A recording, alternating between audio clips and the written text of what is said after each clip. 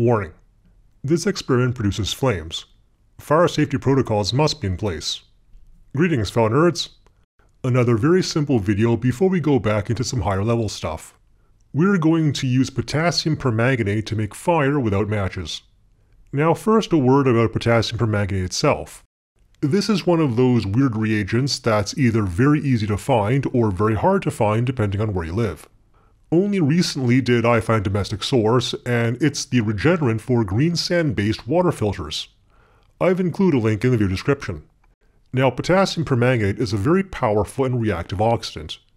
It's so reactive that it can set fire to things even without matches or initial startup. The most famous textbook reaction for this is potassium permanganate and glycerol. Just mix them together and step back. And there it goes.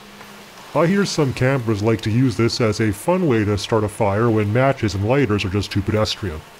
Now another fuel that works well with potassium permanganate is brake fluid. In particular, you need polyethylene glycol based brake fluid, also known as DOT3 brake fluid.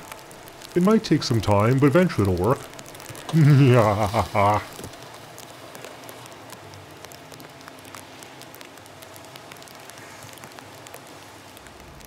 Now you might recall in a previous video, I reacted brake fluid and pool chlorine and was able to generate fire that way. I also tried ethylene glycol or antifreeze and while it did react, it did not catch fire. But maybe it'll work this time.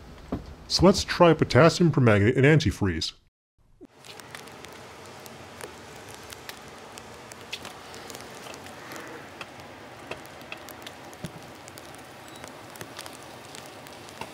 Looks like potassium permanganate succeeds where pool chlorine failed. I'm actually quite surprised.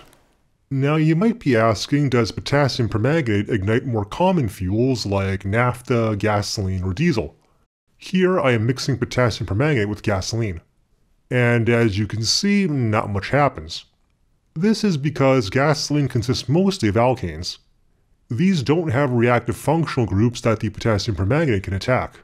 Although my friends that try this say their gasoline did react after a while, so I guess maybe it depends on the additives in the gasoline as well and might vary depending on region.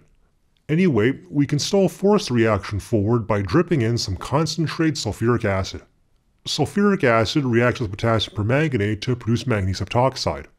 And there we go, the reaction is very quick. Manganese heptoxide is an extremely powerful and reactive oxidizer, even more so than potassium permanganate so it can react with alkanes directly. It'll also destroy human flesh quite easily, so be extremely careful when doing this experiment. Now it's so reactive that I'll even ignite mineral oil. So here I am with a new mound of potassium permanganate, and here I'm soaking it with mineral oil. As you can see, nothing happens. But when we add in sulfuric acid to make manganese heptoxide, ooh, and there we go. Now it's not burning that much because the temperature of the oil is below the flash point, so we cannot sustain a flame.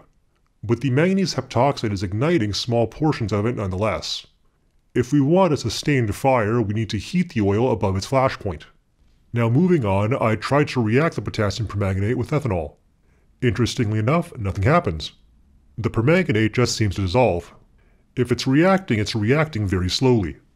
I tried dripping sulfuric acid and the reaction does occur, but the ethanol seems to boil away before it has a chance to ignite. The solution is simple enough. First we add sulfuric acid to the potassium permanganate to produce concentrated manganese heptoxide. Then we add the ethanol. The extremely reactive manganese heptoxide heats up and ignites the ethanol before it has a chance to boil away. Anyway, potassium permanganate has a huge number of uses not just for starting fires but I'll explore those in separate videos. Thanks for watching.